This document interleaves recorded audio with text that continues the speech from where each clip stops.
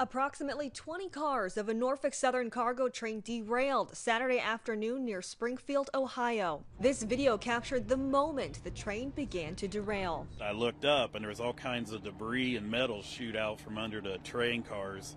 And when it did, for some reason, I just started recording. Four of the derailed cars were tankers carrying residual amounts of non hazardous materials. There were no passengers on the 212 car train. There was no release of any chemical or any hazardous material to the soil, to the air, to the water.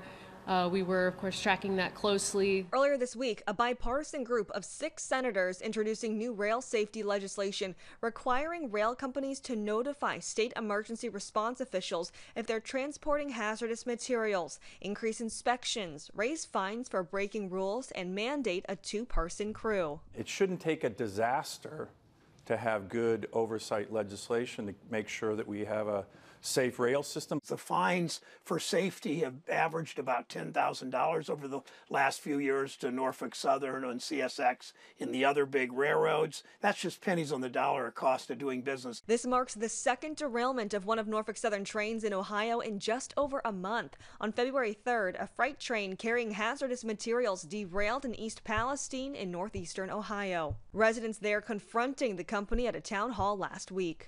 I'm begging you by the grace of God, please get our people out of here. Yes. The CEO of Norfolk Southern is set to testify this week before Congress on Thursday. He's likely to face questions about whether the railroad has been investing enough in safety.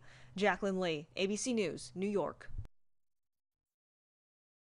Watch breaking news on YouTube. Subscribe to ABC7 Chicago Eyewitness News.